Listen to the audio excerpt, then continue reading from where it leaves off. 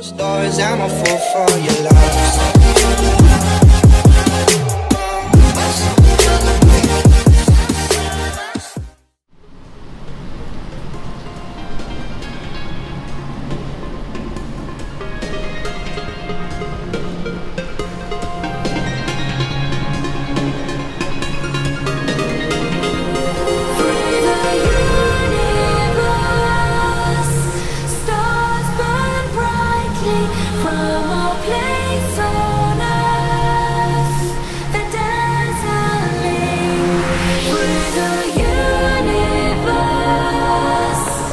Light